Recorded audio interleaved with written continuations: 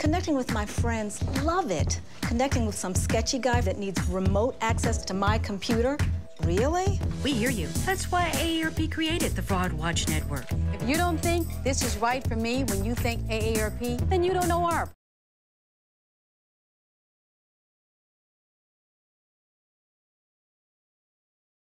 Uh, good afternoon, everyone, and welcome. Uh, those of you that are still dining in place, continue and enjoy your lunch. And uh, we know that there are people, as I said a moment ago, who are still outside in a, a line waiting for lunch, and we'll uh, let them join us as they do that. Uh, but we'd like to go ahead and get started, and I'm going to do that by introducing uh, our panelists. Each of them will speak for about 15 to 20 minutes, and then we have left enough time for about 20 minutes or so of questions on the back end.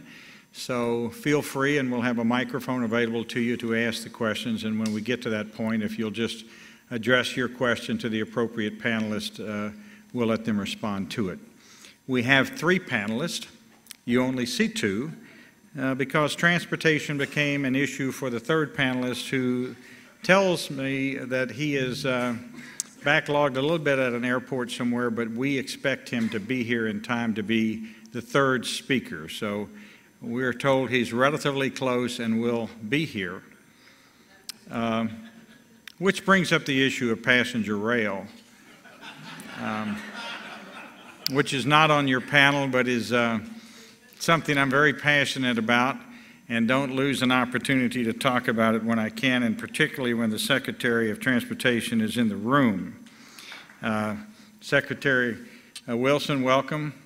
Uh, just uh, by show of hands, if there was an efficient train that would leave Baton Rouge and take you to New Orleans in about an hour, raise your hand if you'd be in favor of that. Not, not in exchange for a new bridge and all the other things Baton Rouge needs. I, I get that. So uh, the enthusiasm still is there. So today is about transportation of the future, and that's certainly something that we hope we will see here. But how will we move in the future? And we have three very unique and talented people who will tell us their story about new modes of transportation that we want to share with you. The first speaker this afternoon is Lindsay West, the Executive Director of Baton Rouge Bike Share.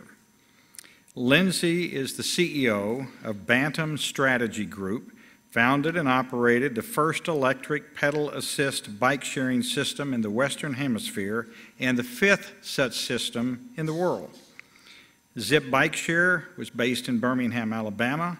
She has more than 12 years of operations experience in public transportation and healthcare. She was instrumental in transportation and air quality programs while serving as the Deputy Director of Operations at the Regional Planning Commission of Greater Birmingham for six years. The back story on Lindsay is that a number of us who have been working on Bike Share took a trip to Birmingham and we were so impressed with the operation, we said, why don't we hire Lindsay? And she agreed to come to Baton Rouge and start the Baton Rouge Bike Share program. It was an extraordinary visit in Birmingham. We were quite impressed, and people like myself, who at times probably aren't in as good a shape as we would like to be, found it a wonderful experience to find that there are electric assisted bikes. So when you kind of pedal and it gets a little tiring, this little motor that no one sees kind of helps you. And so, those of you who would like to have bike share but think maybe on a hot summer day or going up and down a hill might be a little more than you could do, there's good news for people like me and you, and she'll tell you all about that. Our second speaker is Stephen Smith, the sales director for East RideCell, he is the director of sales at RideCell and brings more than 27 years of Silicon Valley tech sales and business development experience. He has built and managed teams evangelizing new technologies across both the consumer and enterprise marketplace. He's been contributor and manager on teams that introduced the Apple Macintosh, Apple Laser Writers, wireless data devices with Novatel Wireless, in-car GPS navigation systems with Magellan, and navigation and advertising sales solutions for mobile services with Navteq Nokia. He has a proven track record of building and leveraging partnerships internally and externally to generate significant revenue opportunities. The third, if you will, I'll go ahead and introduce our third panelist, uh, who is Randall Creighton. He's the Program and Development Director for Shared Use Mobility Center. Creighton leads the work with cities to develop pilot programs, funding, and policy environments for, for shared use mobility so that programs can work better for everyone. As the former executive director and co founder of Buffalo Car Share, Creighton helped to grow the program from an idea in a startup competition at the University of Buffalo to a successful nonprofit organization providing car and bike sharing services to over 1,000 members. And hopefully, uh, Randall will be here shortly. Would you please join me in welcoming our panelists? Uh, they will address uh, you and make their presentations here from the podium. So, Lindsay, please, if you would, we'll get started.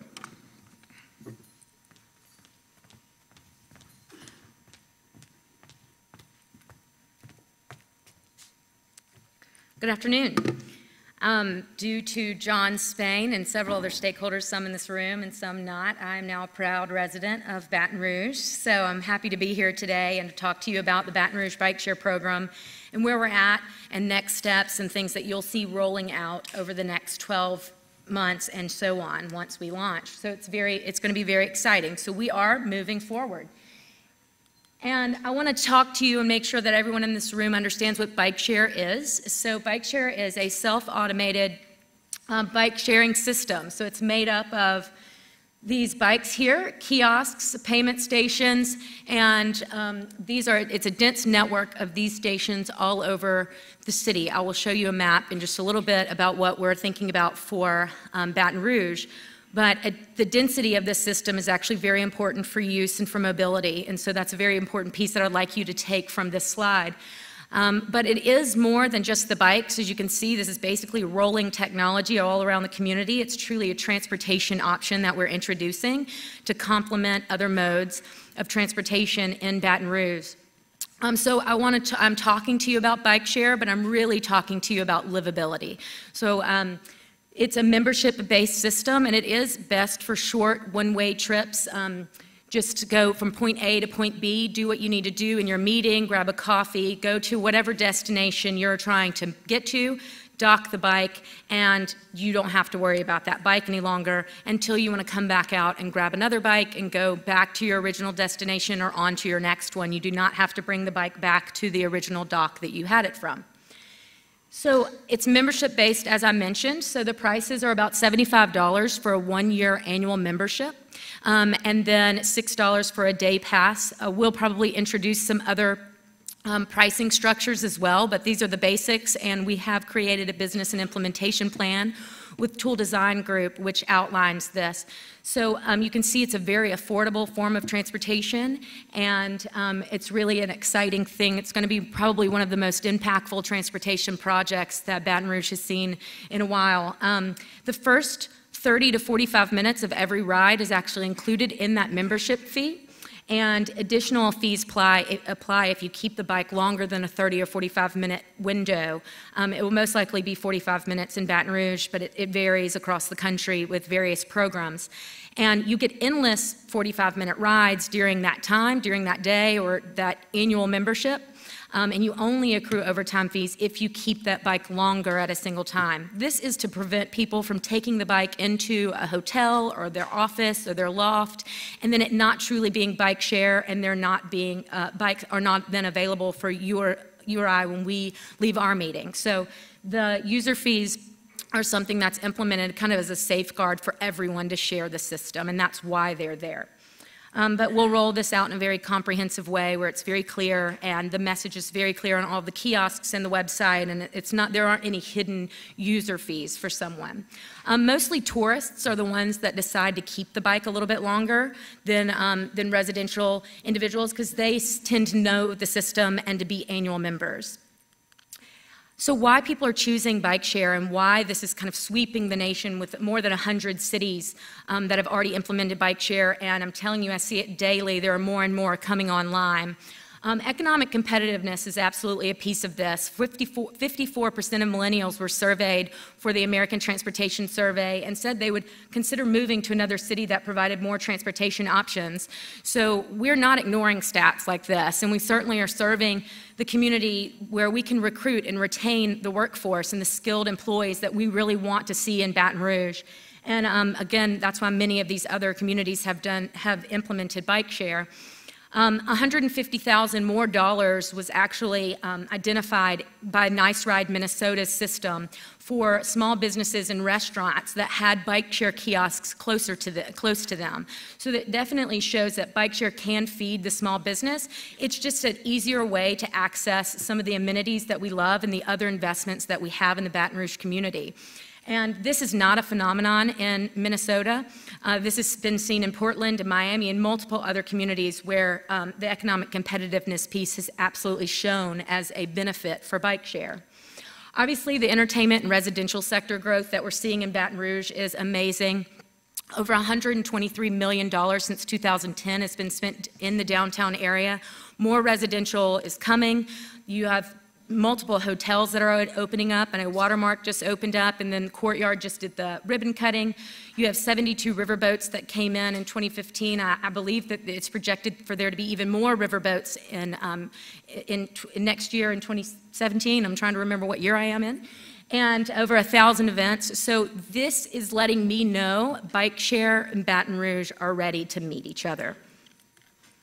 And then the transportation and connectivity piece of bike share and what it offers. It's a great first and last mile solution for individuals, especially those that are transit dependent. This certainly does not replace CATS in any way. It complements CATS. Um, Bill DeVille and I have sat down, and he's a big supporter of bike share and understands that connectivity piece that we're offering between CATS and bike share and some of the other ride share modes that are being introduced. So um, I think this is a great a great marriage and um, can certainly be that first or last mile for someone um, that's using another mode of transportation to get into our downtown area or LSU or um, Southern University, wherever we've launched the bike share program. So they might drive their car in, take the bus in, and then use bike share for the rest of the connector. Obviously, it's a health and wellness. There are benefits for health and wellness. I think that goes without saying, but certainly 30 minutes on a bike can fight, um, can help reduce several chronic diseases. And um, I know an unsavory stat just came out from the Gallup survey that Baton Rouge is the most obese city in the United States and Louisiana is the most obese state.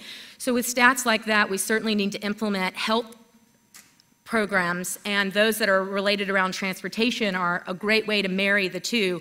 Health and transportation just go hand in hand, especially with healthcare costs and transportation costs taking up a large portion of the funds that we take home. And that certainly affects the economy and the way people are then able to spend their money at these other businesses and for their personal needs.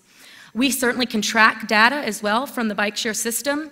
So how many miles were ridden, how many calories reduced, how many vehicle miles um, were reduced, vehicle emissions as well. And so we'll be tracking all of that system from the system. Bike share gets an immense amount of data, and we will certainly use that data to inform other stakeholders in the community. So health departments can go after additional grants, or hospitals can use this this data to go after additional grants to bring more funding into to our community for healthcare related initiatives and other, uh, other transportation related initiatives as well.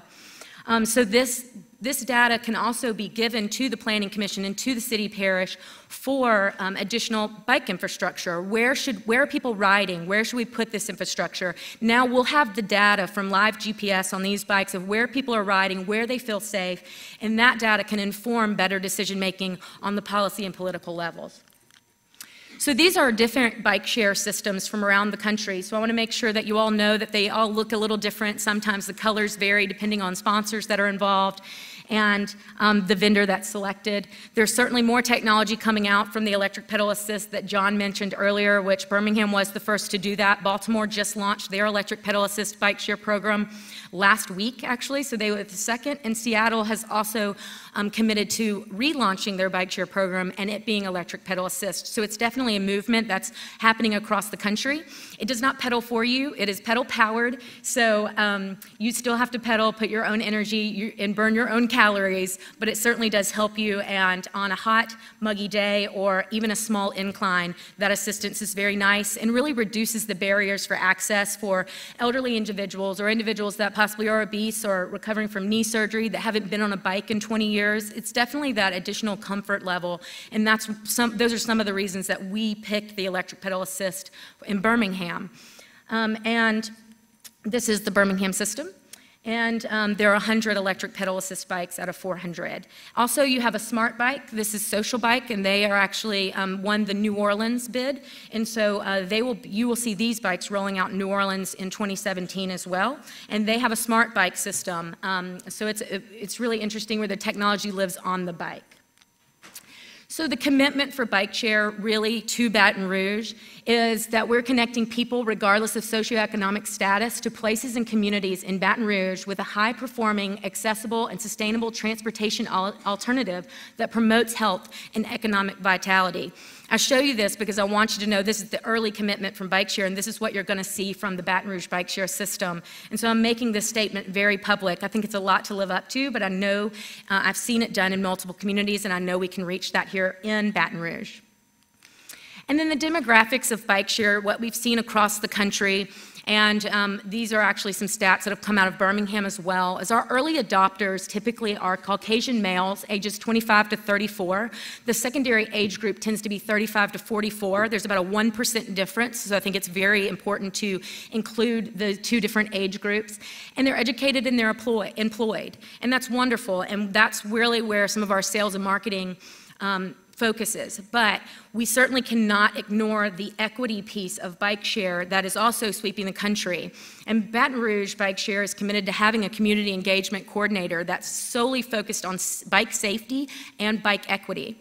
When I talk about uh, bike equity, I'm talking about women riding, people of color, low income individuals, and seniors. So we want to make sure that bike share is, accept, uh, is accessible to multiple groups of people. That goes through um, station placement, but it's also through our outreach and education efforts and making sure that people understand what bike share is. And when bike share appears in their neighborhood, they don't look at it and say, this isn't really for me.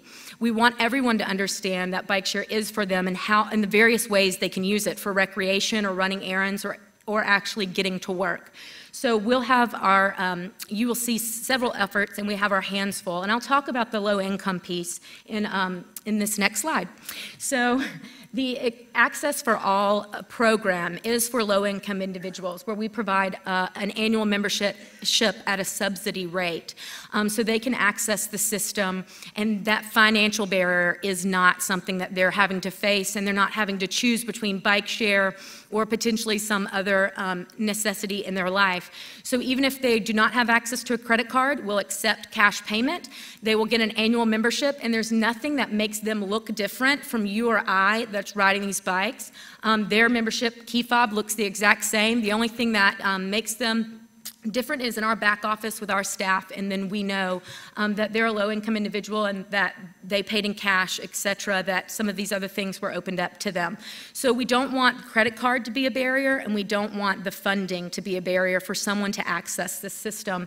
So we'll have um, that program, as well as various campaigns, maybe um, Heels and Wheels for women to get women riding bicycles, um, and various campaigns throughout the year, bike safety courses potentially in partnership with AARP. These are some of the tactics I've seen across the country where it's a bike safety course specifically for seniors. So there are definitely elements to this outreach we're very grassroots and um, we're out there on the street level with the community riding these bikes as well and, and, and getting people excited about them. Um, there certainly is a huge education and safety component to bike share. So um, the safety record for bike share across the country is, um, is phenomenal.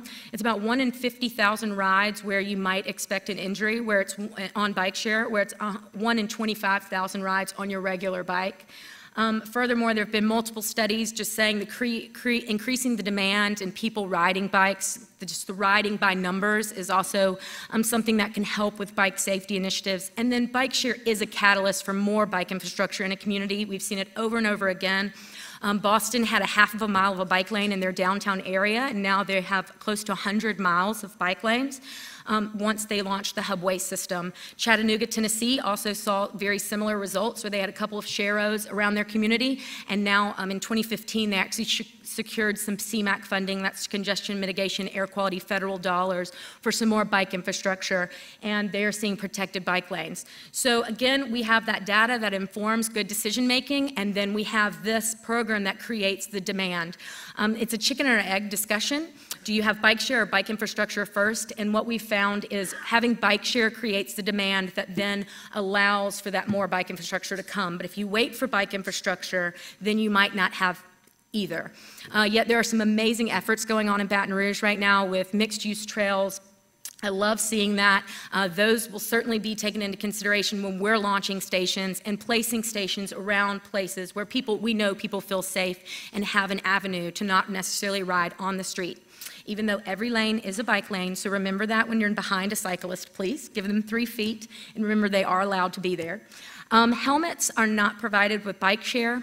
Um, there's only one city in the United States that provides, uh, I'm sorry, requires bike helmets, and that's Seattle. We'll certainly have a, a helmet campaign and we'll um, encourage the use of helmets, um, but we will not have helmet vending machines or anything of that nature. Um, you're not required to wear a helmet if you're over the age of 12 in Louisiana. It's different in each state. Um, and so helmets are not, we found that hel helmets or having a helmet uh, available to you can be a barrier to access bike share. And for low income individuals, it becomes an additional financial barrier. So um, the use of helmets is encouraged. We will work for the, uh, again, a helmet campaign where we try to give away free helmets and uh, things of that nature, but they're not typically required with bike share programs and we'd actually encourage it to not be a requirement and let individuals choose.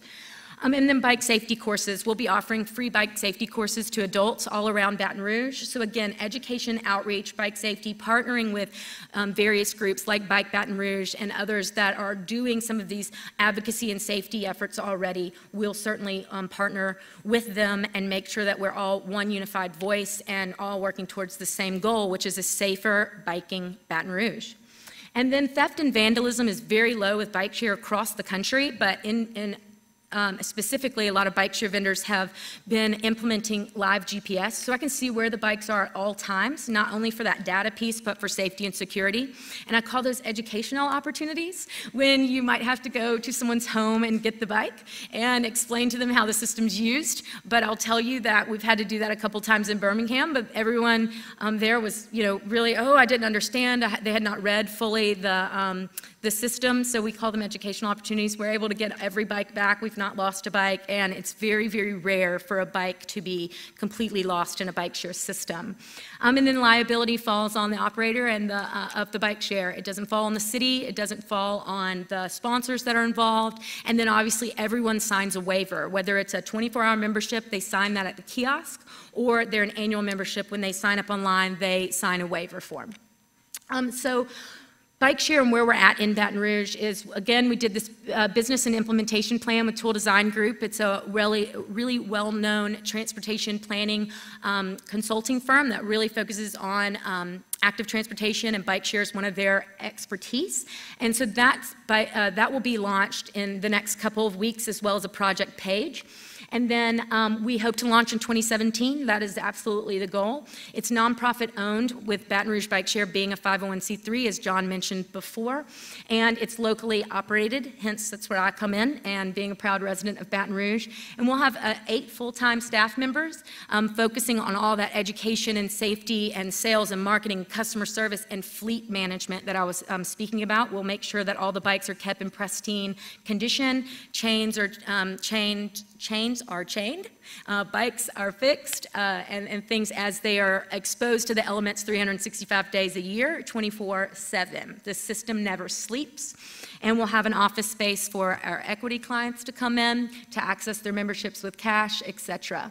And we have a fleet rebalancer, and that's where we make sure that the system is balanced appropriately for events and for various just movements of the city to make sure you don't come out and there's not a bike available for you. It's very rare.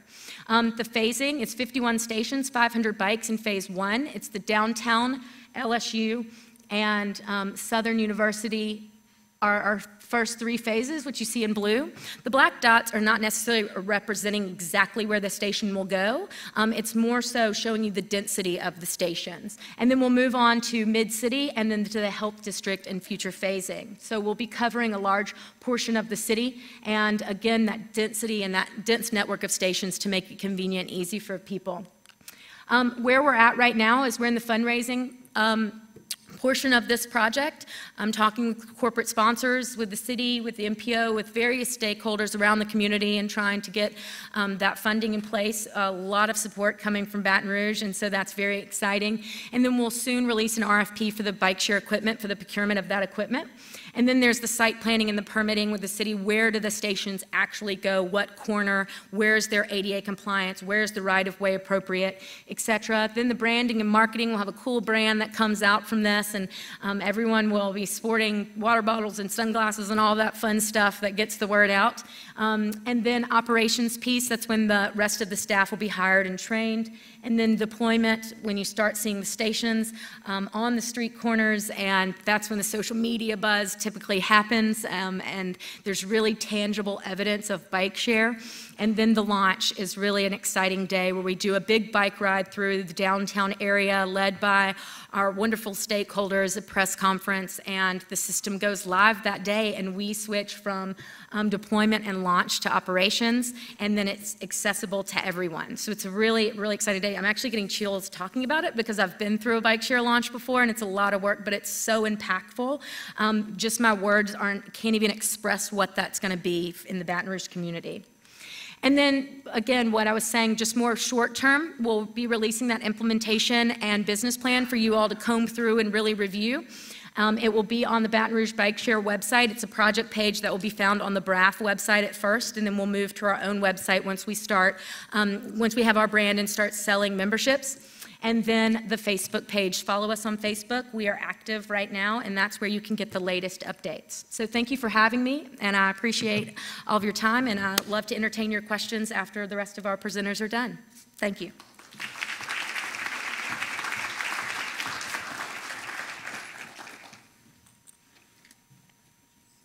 2017. Uh, sometime around July, August, uh, I think we're going to shoot for this, so it's not that far off. Uh, thank you, Lindsay. She'll be available for uh, questions, as we said, in just a moment. Randall, you made it. I've introduced you, but we can give you a round of applause. We've changed the order, so you're number three because we didn't know when you would get here. And we're delighted that you made it, and how ironic that we're talking about transportation. Uh, Stephen, if you would, please.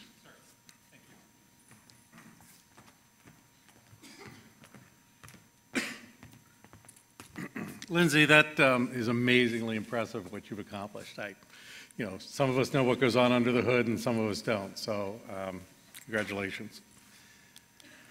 I want to thank CPEX and thank John and, and you all for attending this session um, to allow me to share with you some of the dynamic and exciting things that we're doing at RideCell in the area of public transportation in the country and in Australia and in Europe as well, actually. But um, those are not necessarily words that I would have strung together before starting at RideCell, exciting public transportation, but um, it has been a transformative couple years. Um, it's been a disruptive couple years with a number of different uh, flavors of, of transportation being introduced into the country, car sharing, ride sharing, bike sharing, canoe sharing. I'm waiting for that one. But there's, in, in, in addition to changing fixed route transportation to on demand to complement areas and times of need when um, ridership is low or doing the converse. So um, there's a lot of excitement in terms of investment, in terms of innovation, in terms of disruption in the space. And um, I want to just walk through with you briefly uh, some of the areas that uh, we're working with to make that happen, facilitate those changes, um, and then, you know, at the end, take any questions you might have. so RideCell addresses two needs, um, we feel, in the area of public transportation. One is uh, to consolidate the number of different options riders have to access transportation. Those include fixed route, those include on demand, Those include on demand, where I use my application to hail a vehicle, a phone, or an app. Uh, it could be ride sharing. We're seeing that growing. Uh, that would be an example of Uber and Lyft, the ride sharing space. Uh, car sharing, uh, examples like ReachNow and Car2Go, where I walk out in the street of Seattle and I pick up a car, BMW, could be a 300 and they have 700 series in the fleet, so that's kind of fun.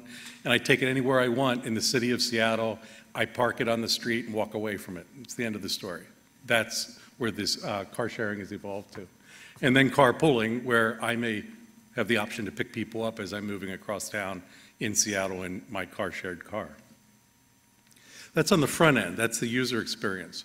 On the back end, from an administrative perspective, we provide analytics that help process and optimize all of these different modes of transportation to be able to make recommendations to the transit managers of different types of transit that they may want to implement in a given area or on a given route.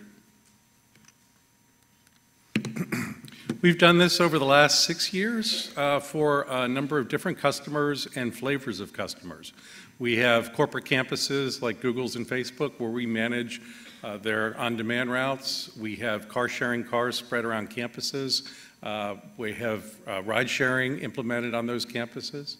And we do this as well on university campuses. They, mirror each other pretty much, except hmm, the corporate guys have a little more money than the schools do to implement. And uh, we are also doing these for, for a couple different public transit agencies, um, such as Southwest and in the Silicon Valley area as well.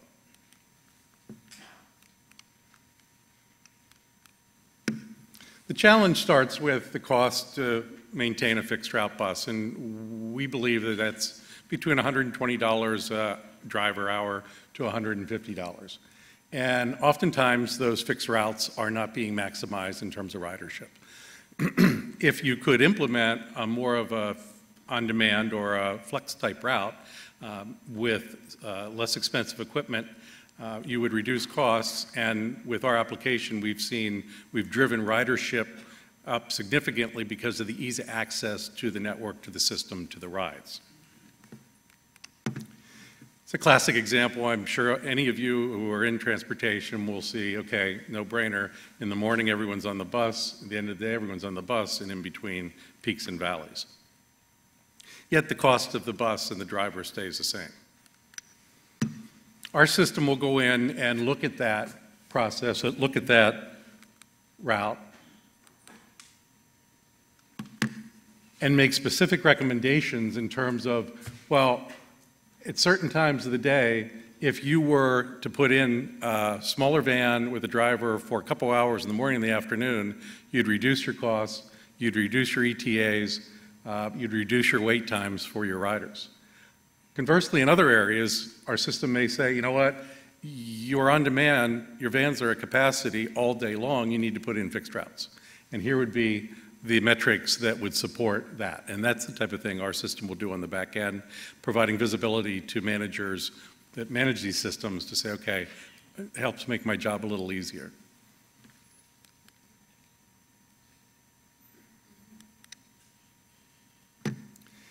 With Southwest Transit, um, we were implementing this system a couple years ago, and this is a this is a graph of where we have this consistent number of drivers across those number of months, and this was a, from implementation to starting to see results.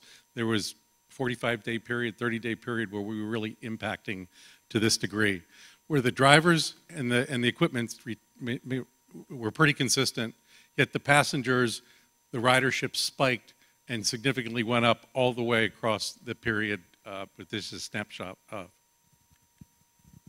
And these are the more hard statistics of what we were seeing when we implemented that program in terms of 820% increase of rider requests. Now, understand the difference. Now they had an application, or they could go to a website, or the system allows them to call in as well, because not everyone has access to the internet or a mobile smart device.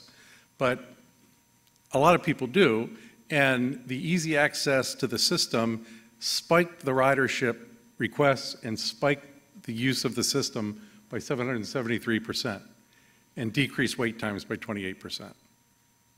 I mean, these are just, these are crazy numbers. And Southwest has decided to expand the service across beyond Eden Prairie into other areas of, of their responsibility.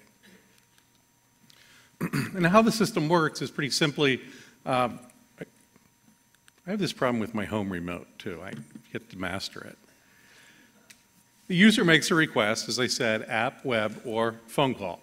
Uh, the system real time matches that rider, the driver, where the rider wants to go and where the driver is. So it takes that all into consideration and then sets up a pickup and it uses Google Maps uh, and Google Traffic. So it's factoring traffic into the ETA and the delivery time for that passenger. Uh, the user can get a notification via uh, real time about where that driver is and notification when the driver is showing up. They get this notification either via text to their device, uh, and that will, or, or on the app that shows the driver and the wait time. It's really important in Eden Prairie in the middle of winter. It's a pretty significant feature. Here's an example where we've consolidated the application. I'm not a technical guy, that's the problem. I'm a sales guy. We've allowed the, the application to kick out multiple options for the user. The, user says, I want to go from point A to point B. The system says, okay, we all like choice. Here's your choice. You can take the light rail, light rail system, um, and it would cost you this much, and it would take you this amount of time. Your other option is grab a bike. You can bike share over, it's going to cost you this, take this amount of time. You can get an on-demand pickup of a shuttle service, uh, or you can get a pickup of a car share service, ride share service. Pricing vary, costs vary, but on the other end of the system, the visibility to the user in terms of what they select and the path they'll take and what they can get there gets fed out and is, is displayed. In more detail, um, this provides the user driver update of, okay, let's just jump to BMW. That's more exciting anyway. So BMW invested into RideCell uh, uh, about a year or so ago, and the objective was to, to implement a car share service. Uh, how many of you are familiar with Car2Go in the United States? They're not all over. You go to Europe, I mean, there's a ton of those type of services all over. Uh, but Car2Go is the most famous in, in the States so far. Uh, we launched with BMW in the city of Seattle, and within a very short period of time, we reached, they reached 30,000 customers slash users slash members. They launched with 370 cars. As I said, their fleet included i3s, E300 series, 700 series. And they've expanded that to 570 cars due to the success of the program. They moved to Portland two months ago and will expand to nine other cities throughout the rest of the year. And the key to them being able to implement this system is full autonomous dispatch and management of the cars and the drivers of the cars and the members. The way we validate a driver is the driver takes a picture of themselves, they take a picture of their license, we do a license check, and with a credit card, they're able to grab a car anywhere throughout the city of Seattle. It's probably familiar to any of you who've used a car sharing service gives you your price, uh, shows your car so you know what it looks like, the license plate, and if you have any issues with the car, unlocking it, uh, or its cleanliness, or its uh, gas or level of electricity, you can report that back to the system.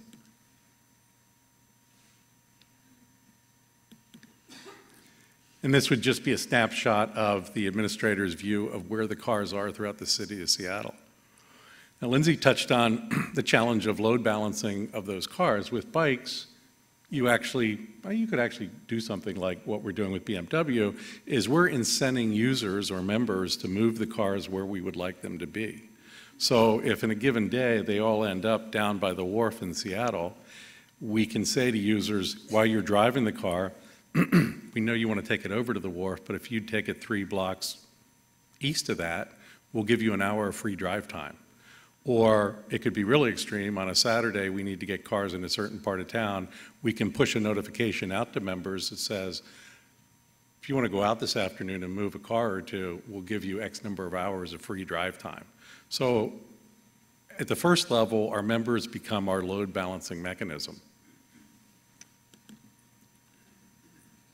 So in a nutshell, um, just to sum it, some, some, in summation of what RideCell and who RideCell is. The DNA or the heritage of the founders is they had founded a, a taxi cab service uh, that they managed through full automation of dispatch with four employees and 2,500 taxis throughout the Bay Area. So they have an in-house, we've got quite a bit of in expert design expertise in terms of advising our customers on what they need to be doing to maximize their transit systems. We're able to integrate the user experience and the back-end management experience into one system, leveraging the years of experience that are in the company, working with some of the largest universities, corporations, and public transit systems. We're able to power the business from end to end uh, from a consumer, from a fleet management, supply the analytics to assist fleet management in making cost-effective decisions that are also good for the riders, good for the community, uh, good for the budget, and help with marketing as well as processing payments. So that's kind of RideCell in a nutshell. It goes a lot deeper in a lot of other areas, but I really wanted to give you all a top-line view of what the service is and what we've accomplished. Thank you.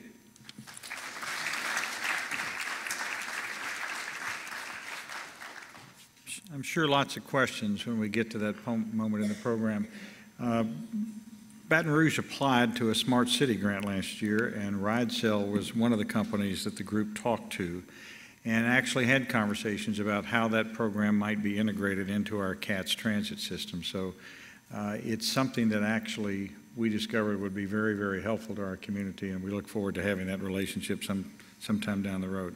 Randall, please, if you'll join us, welcome to Baton Rouge. We're delighted you're here.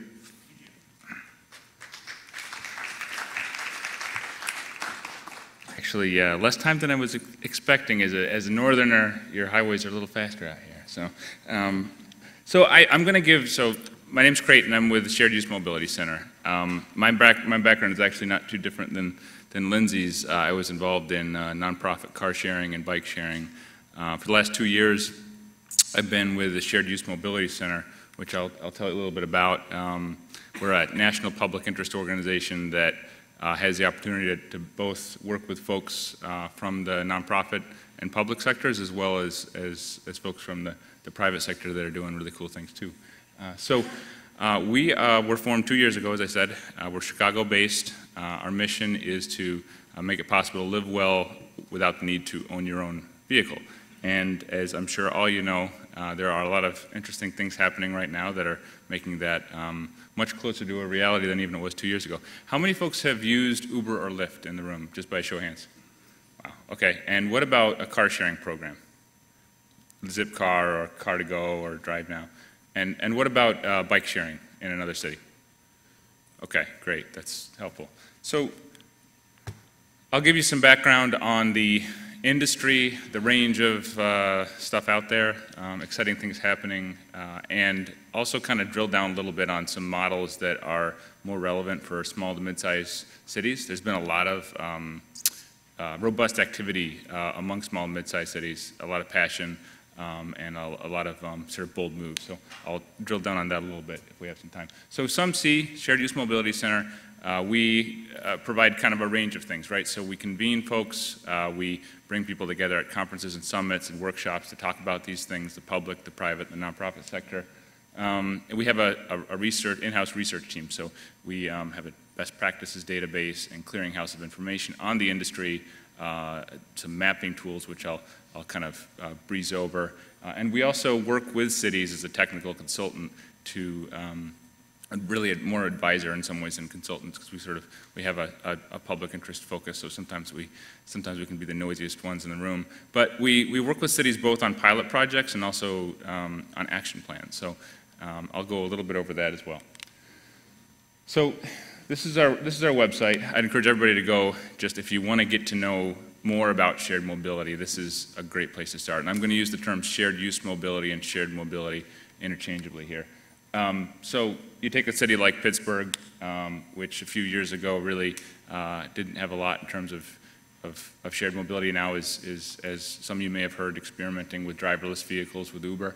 Um, and you can just drill down on, on Pittsburgh and see where are the cars, where are the bikes, what systems are out there.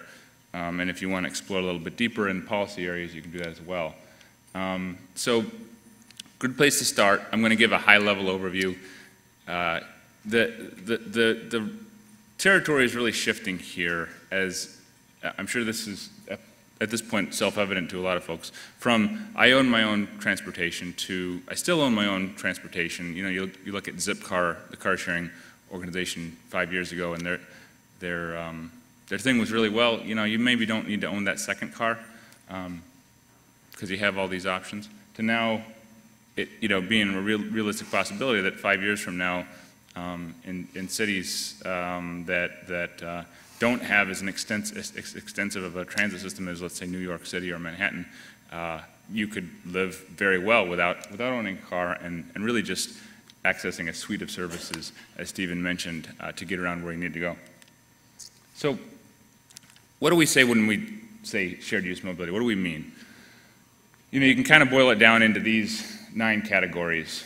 And again, two years ago, half of these things weren't really on the, on the, the list. Um, car sharing started in the US maybe 15 years ago, bike sharing maybe about a decade ago. Um, but really, in the last few years, you've seen the advent of, of, not only ride sourcing programs like Uber and Lyft, but also the sort of companies um, like, like RideCell that have grown very quickly to sort of both fill in the gaps in service, but also kind of network these options, right? So uh, one thing that's really gotten a lot of traction and a lot of interest in the last year has been what we're, what we're calling private transit, what's been, um, if you Google the term, mic the term micro-transit, that's really been the sort of the, the term that's been popularized over the last year. But services like the VTA program that, um, that Stephen mentioned in San Jose is one example, um, or the, the, the, Southwest Transit he mentioned as, as well. Companies like Bridge and Chariot. Um, and, you know, we're also seeing a trend uh, that sort of blends uh, ride splitting, uh, or you could even say ride sharing or carpooling. There's a lot of overlap in these terms now with Uber and Lyft. In cities like Chicago or uh, San Francisco or New York, most of the rides taken on Uber and Lyft are with two or maybe even three, in some cases, strangers in uh, the car with you. There's even sort of a, a, merger of those models with what Stephen mentioned. Uh, there's a service called Via in, in New York that um, uh, basically is like a, a van, and you might have four or six other people with it, and it sort of reroutes, um, you know, as needed, and, and you got a bunch of folks essentially riding a bus, but uh, sort of a dynamically routed bus. So there's, a, there's, a, there's just a, a wide range of really interesting things happening in this space right now. And this is a, a map we do our best to track and categorize. Um, you can see there's a lot going on in this industry right now. So why do we need these things? Well, Stephen covered a lot of these points, but you know, there's both the sort of the, the gaps, right? The, the peak times or non-peak times, I should say, that, that Stephen mentioned, um, where you do see uh, Uber and Lyft and services like this really coming to play. Um, late night service, weekend service. Same is true for car sharing. Um, car sharing is, tends to be a, a weekend thing. Um, but I, one of the things I want to really highlight is, is that we're seeing this very common among small and mid-sized cities. When you're trying to get something going, you're trying to sort of um, speed up and implement some things, and you're considering light rail, you're considering um, major public works projects, they often carry a very big price tag. These programs do not, right? So the relative cost of a, launching a bike share program is like, is like pennies compared to um, thinking about, you know, interchange reconstruction or, or, or new transit systems, even sort of converting a bus into a bus rapid transit system is, is in the um, tens, if, if not sometimes hundreds of millions of dollars. Um, but the, the flip side of that is you really need transit at sort of the core of these services. Um, none of this stuff works if you don't uh, have that main way to shed your car, and that most often comes from having reliable public transit. So a couple of trends I'm just going to highlight before we kind of drill down on, on stuff applicable for smaller cities. So in, in part because of um, funding opportunities, uh, driven largely by California, but um, with things like the Volkswagen settlement that some of you may have heard of, uh, you know, really opportunities are going to be abound in, in the electric vehicle area over the next several years. So that's something to watch out for, both in the bike share context, but also with car sharing. Um, DriveNow, is, as Stephen mentioned, is a, I think, in all cities, an all-electric program, right? ReachNow, sorry. So they're, they're, they're, they're getting there in terms of their electric, uh, electric vehicles. You know, I'll, I'll say quasi-public transit to kind of encompass a lot of those models I was talking about earlier. Um, some really interesting startups around carpooling and, and, and ride splitting. Um, Uber and Lyft themselves are, are really innovating in these, in these areas. And um, an area that I think is seeing a lot of attention now and will continue to is uh, replacing, essentially replacing or augmenting paratransit service. So in a lot of uh, areas, there's really only one paratransit provider, and that's the, that's the transit agency. And it's a big part of the income of the transit agency. You also have other areas where you're reliant in large part on a taxi system or maybe a volunteer, uh, a, a- basically a volunteer ride program. And so um, with sort of the layer of technology, there's a lot of new interesting things coming, coming online here, and I'll, I'll, I'll touch on a few of those. Of course, you know, I can't have a PowerPoint slide without mentioning autonomous vehicles, right? Um, That's coming, it's coming quickly. Uh, I'm going to get to some of the partnerships with automakers. Those are largely driven, frankly, by the advent of autonomous vehicles. And as Stephen mentioned, there are a number of firms, uh, RideCell looks like they're um, uh, leading the pack in some ways, uh, uh, doing what, what, was, what was mentioned, basically. I want a suite of options, and I want them all on my phone, uh, and I want to be able to price them and um, eventually even book all those trips in that one place without having to leave my app and go to the, the Uber app or go to the bike share app. So what are automakers doing? To us, this is a huge signal that things are changing and they're changing quickly, and, and uh, it's a signal of this, the sort of scale of investment that's coming into this uh, arena from the pr- private sector. GM uh, made a $500 million investment in Lyft earlier this year. They've launched their own ride-sharing service called Maven, which is now in, I want to say, about a dozen cities, um, just has launched within the last few months. Uh, you see um, ReachNow, which I need to change my slide. I still used to calling them, calling them DriveNow, which they were for several years. ReachNow from BMW and, and Car2Go, which is Daimler, um, both, both basically investing directly in creating their own fleet of vehicles, using their own, using their own vehicles of, of usually one, um, one model. And more recently, Ford uh, and Toyota have made investments. So Toyota, this is like I think two days ago, maybe Friday or Saturday, uh, Toyota announced a major investment in GetAround. GetAround is a peer-to-peer car sharing program, so I share my vehicle with you. Uh, there's tech installed in it. When I'm not using it, you can use it and I'll make a little bit of money off of it. And Ford has made several, um, you could say they sort of dabble a little bit in shared mobility. So they've sponsored a bike share program in San Francisco. They bought a, uh, uh, a, a microtransit or private transit service called Chariot. So automakers are making big investments in this space. So one of the things we looked at over the last year was like, what's the point, right? Like, do these things actually make a big difference, right? These services are still, um, um, in some ways, a small part of people's lives if you look at them on their own. But the, the, the fact that you have these services there makes a big difference in people's lives, even if they use these services once a month or two or three times a year.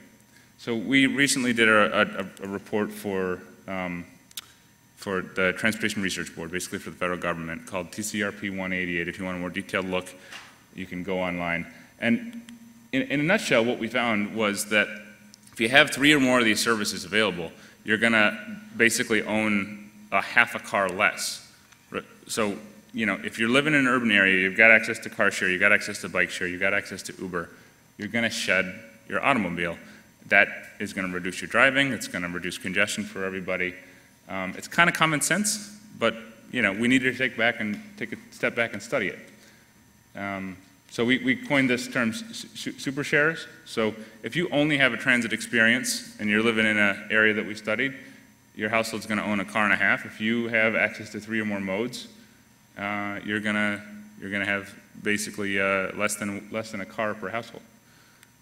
Um, so let's let me just kind of bring it back a little bit to small and mid-sized cities. So what's relevant to Louisiana? Well, as I mentioned, I got my start um, working in nonprofit car and bike sharing in Buffalo, New York, a city not too different from, from Baton Rouge um, or New Orleans. So I'm going to group what's going on with small to mid-sized cities into like three buckets, and I'm going to try to avoid as much as I can mentioning San Francisco because you know there's a lot of interesting things happening there. There's a lot of interesting, I, you know, you could also, I think, in some ways loop Seattle in with San Francisco, right? But there also are a lot of really interesting things happening with smaller cities, cities that are more auto-oriented. So one of the things that's a trend we're noticing in small and mid-sized cities is that public-private partnerships are really uh, happening in a way that is, uh, to me, uh, surprising and encouraging. And um, public agencies are making bolder moves than they did even a year ago. So a good example of this is Rochester, New York. Rochester is simultaneously going from just having transit service to layering on uh, a reverse commute van pool service to bring folks to suburban jobs that transit can't reach. They're adding a car share program, they're adding a bike share program. Rochester is saying, for example, on their bike share program, they, they recently um, awarded their contract. They said, we're not going to pay for it. We want somebody to come in and tell us who's going to sponsor the program. They're working with a, a service called, called Zagster that, that Lindsay might be looking at. And Zagster came in and, and said, you know, we think we can land this sponsor, whether it be a, a health system or a, or a, major employer like Kodak, let's say. Um, and that'll pay for the system itself. Next door in Buffalo, my former colleagues have launched a system with social bicycles um, that is fully paid for by the healthcare system. And you know, you go back a year or two years, small, mid-sized cities were getting these consulting studies done, like, like the one that Lindsay did with um, um, Allison that, uh, blanking on the firm's name. But, um, you know, the, the, the, consultant said, wait a little bit. They said actually the opposite of what Lindsay was saying. They said, wait until you have the bike infrastructure in place. And now you've got cities doing exactly as Lindsay said, like being proactive about their infrastructure by saying, you know what, it's really relatively inexpensive to launch a bike share system. So that, you know, it's not just about bike share. Um, some of the some of the things that Stephen mentioned in terms of like small pilots you see happening not only with sort of first last mile, I want to get off of a train or a bus and connect direct to my workplace, um, but also um, services for the elderly and, and disabled. So Space Coast Area Transit is a good example. A lot of employers have bought into a, a program that provides um, van pool trips to work, and uh, the contractor, V-Ride, has, has augmented that with basically a fleet of vehicles for social service agencies. Um, you see some interesting things happen in Pinellas, Florida, uh, with uh, a first last mile partnership with Uber. Um, GetAround uh, the, the peer-to-peer program I mentioned has pilots in Oakland and in Chicago um, work, working with us on basically extending their model into communities, suburban communities that otherwise wouldn't have these services. Another theme, I'm just going to kind of rush through these, another theme uh, among small to mid-sized cities is nonprofit models. Um, you're not going to get the sort of speed of delivery at the cost of um, that, that's affordable for, for a lot of smaller cities without looking at the nonprofit model. I'm partial to this, of course, myself having been in, in the sector for a long time. But when you have someone like Lindsay who comes on stage and is passionate, and is a champion for this kind of thing. That's what makes these things happen when you have a, a, a, a, city like Baton Rouge or Buffalo where everything's one connection away. You need that singular champion, and that, that just most often happens through a nonprofit model. So you're seeing a lot of really interesting things happen. I'll give you another example, is, is Fresno, California. Fresno is never going to be, particularly in the rural, rural parts of, of Fresno, the Central Valley of California, it's not going to be a market for Uber, right? But you've got informal networks that have existed there like Uber for a long time. Uh, they call it Green though they call it a Raiteros program. They're, they're sort of electrifying it now, but um, it's essentially, you know, a guy that sits in a coffee shop that's a retired farm worker, and you go up to him and you say, you know, I need to go I need to go to Fresno, I need to go to Modesto for a court appointment or for a doctor's appointment. And the guy says, Well, I'm taking your neighbor at 10 o'clock. And if you want to go with her, you know, it'll only cost you $15, $20, you know, sliding scale thing. So it's really kind of like there are these informal networks that exist. And now with the sort of advent of technology, of electric vehicles, these things are kind of coming out of the woodwork in a sense. And and nonprofit models, in, in many cases, are, are the way that that's going to be successful in smaller cities. Another example would be Ride Austin. Um, so the city of Austin, Texas um, said, Uber, Lyft, you have to do background checks on your drivers. Uber and Lyft left the city. Uh, there were thousands of drivers that had been providing this service, and they were basically missing an app. So you had a, a consortium of tech developers come in and say, well, let's just create a nonprofit and build the app. And we'll recruit those drivers. And it's working. It's, it's successful. It's um, being white labeled, which for folks that aren't in the sort of tech sector, white, white white labeling basically means they did something that worked well and they want to sell it to um, folks like Lindsay so we can make it work in Baton Rouge. Um, another thing I just want to touch on this last theme with non nonprofit, or sorry, with small mid-sized cities, is like smaller cities are dreaming big. Um, you know, Baton Rouge applied for the um, Smart Cities program. The winner of that uh, that um, competition, which was awarded $40 million, one one winner, um, five runners-up, many of whom were small cities, was Columbus, Ohio. Columbus said, we want to do a bunch of these, you know, small sort of um, interventions. And they came up with like 15 of them. I don't know how they're going to do it all, but they were awarded $40 million. You know, you got Columbus screaming big. Indianapolis launched a, a, a system of electric car sharing similar to uh, the, the ReachNow service, but sort of tied to hubs like bike share systems are.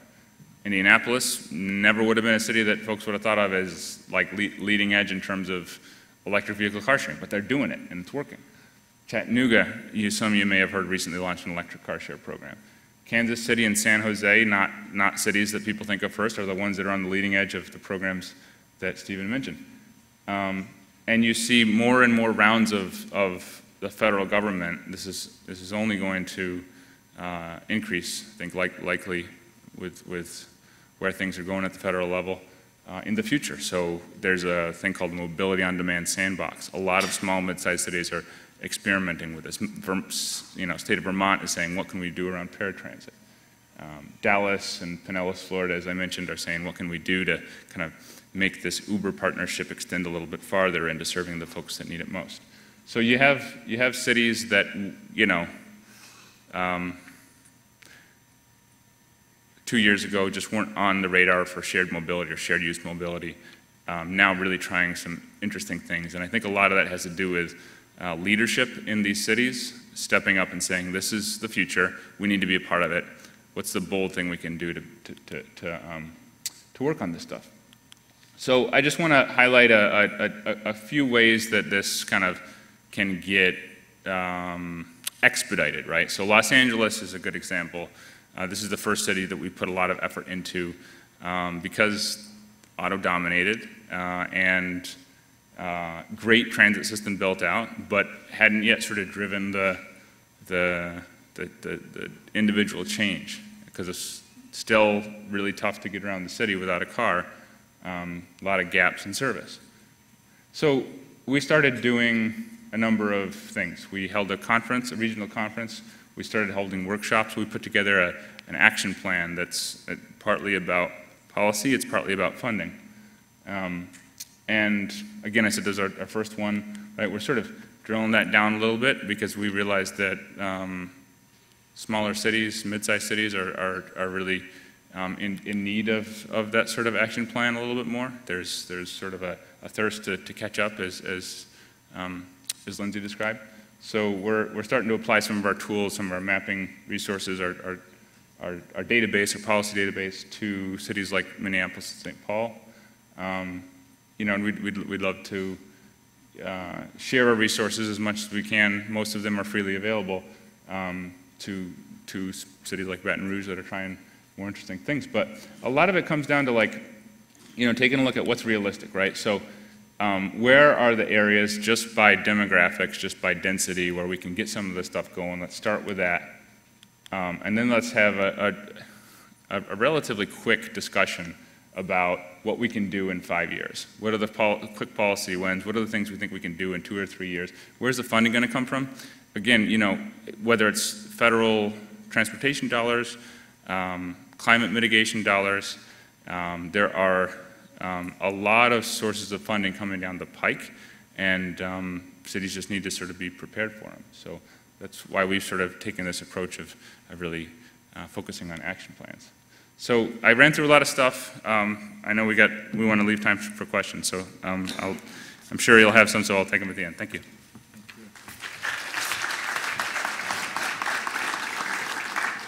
Thank you, Creighton. I apologize for reversing your name in my introduction. Uh, We're at an exciting time in Baton Rouge because we have, the council now has approved Zipcar. Bike share will be coming next year. Planning is underway for a tram that will connect downtown to LSU. Planning is underway on an intercity train between Baton Rouge and New Orleans. If you look around downtown, we've installed, with the help of Entergy and the city parish government, uh, electric charging stations at a number of locations to encourage people to look at alternative fuel source vehicles. So uh, a lot of planning is going on, a lot of work is going on. We're also at an interesting time in a transfer of leadership for our city. I wanted to recognize Senator Broome standing down here, who is one of our mayoral candidates, and should she be so lucky to be elected, she will have to continue some of these programs and expand on them, so we're delighted that you're here.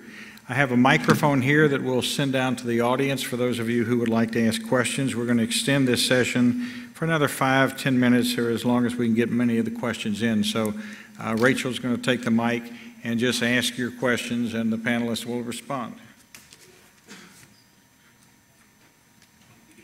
Raise your hand in the back. A couple of people in the back. Rachel are in front. We've got some of both.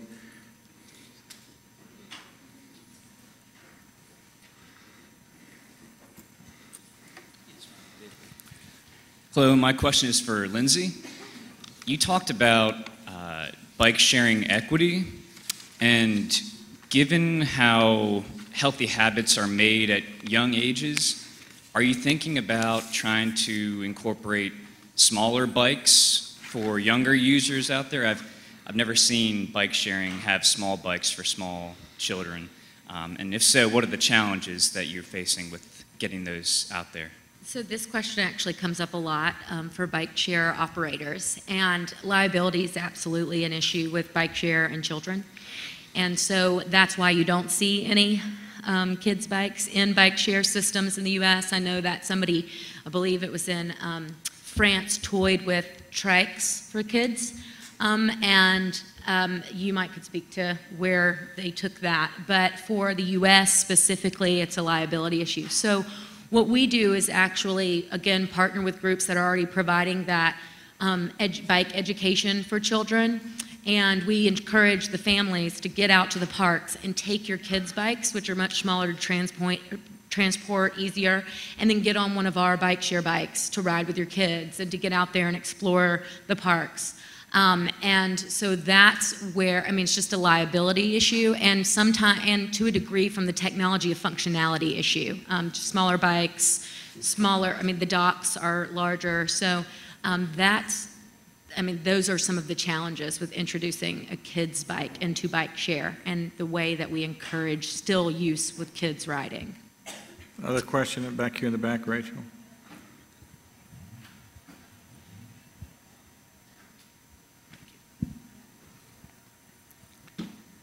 Uh, my, my question was um, regarding the coordination with transit agencies themselves. Um, you know, I think it's really important, like you said, uh, the different ways, the last mile, um, the interconnectivity, the, and really the, you know, compatibility with these different systems, but really having the strength of a public transit system itself, um, how important that is so that you can complement the different modes. Um, What kind of coordination between the different agencies that you guys work with?